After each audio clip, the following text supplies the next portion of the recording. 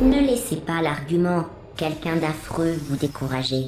Ce n'est qu'une question statistique. Si cela peut vous rassurer, la science... Félicitations.